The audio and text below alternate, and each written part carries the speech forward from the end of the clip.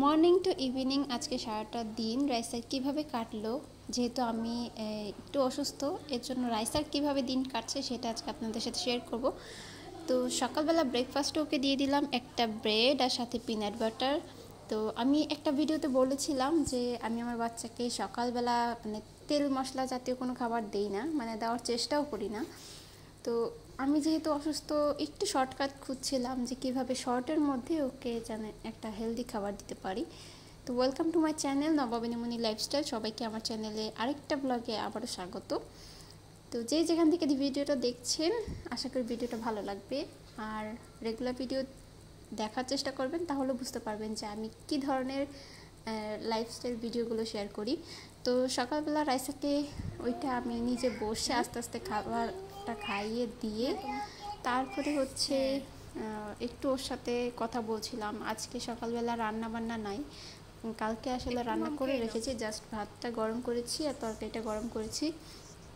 তো ওর পেছনে সময় দিচ্ছিলাম ওর সাথে কথা বলছিলাম। আমিও তো বলছিলাম যে পানি খেয়ে নাও। আর ও আমাকে বলছিল যে মাম খেয়ে নাও মাম খেয়ে নাও। তারপর একটু বাহিরে নিয়ে গেলাম। মার্কেটে যায়? ওইটা দাদি। যে যাকে দেখো সেই দাদি হয়। কোথায় যাচ্ছ? হুম? বাইরে। বাইরে? না বাপুর বাসা এখন যায় না। বাই দাও। বাই।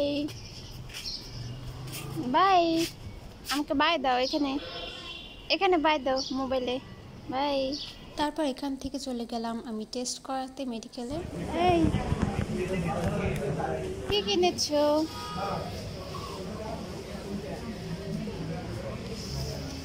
কি কিনছো তুমি? হ্যাঁ? ইলু বিলু এটা হাই ফাইভ ইলুবিলু বলতে ওই ওয়েফারটাকে বুঝিয়েছে, নতুন একটা ওয়েফার বের হয়েছে যেটার নাম আসলে ইলুবিলু। ওইটা খাওয়ার পর থেকে ও যে কোনো ওয়েফারকেই বলে ইলুবিলু। তো ওকে এই ওয়েফারটা কিনে দিয়ে ওখানে বসিয়ে তারপরে বসেই ছিলাম, কোনো কাজ ছিল না, কিন্তু বাহিরে যেতে পারছিলাম না, প্রচুর বৃষ্টি ছিল। তো এখানে কিছু টেস্ট ছিল এটা করতে দিয়ে তারপরে আসলে ওর সাথে গল্প করছিলাম, ওকে সামলাচ্ছিলাম। এভাবেই ওর আসলে বিকেলটা মানে দুপুরটা কেটে গেল। ওখান থেকে এসে বাসায় গিয়ে ও খুবই টায়ার্ড হয়ে গিয়েছিল, অনেকক্ষণ বাইরে ছিল এর জন্য। তারপর বাসায় গিয়ে একটা ঘুম দেয়, ওর সারাটা বিকেল কেটে যায়। সন্ধ্যার পরে উঠে তারপর আসলে সন্ধ্যার পরের রুটিনটাও চলতে থাকে।